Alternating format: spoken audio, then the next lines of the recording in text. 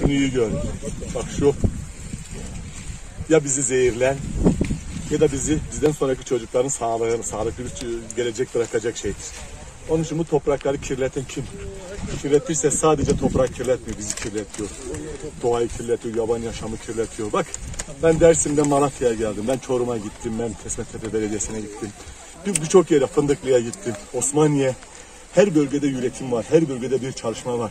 Önce yerel yönetimlerimiz, derneklerimiz, kooperatiflerimiz, mümkünse kadın ko- kooperatifleri, ortak üretim yapan herkes. Ama herkes lütfen topraklara sahip çıksın.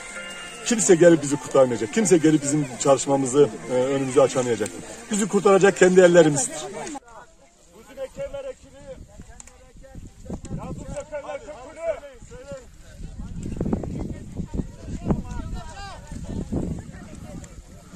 Peygamber vekili. Verelim peygambere sağ olsun. Sallallahu aleyhi sellem.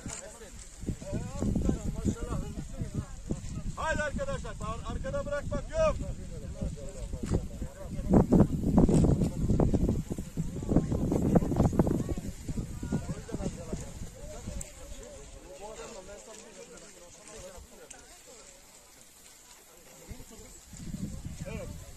Biraz daha yapıyoruz.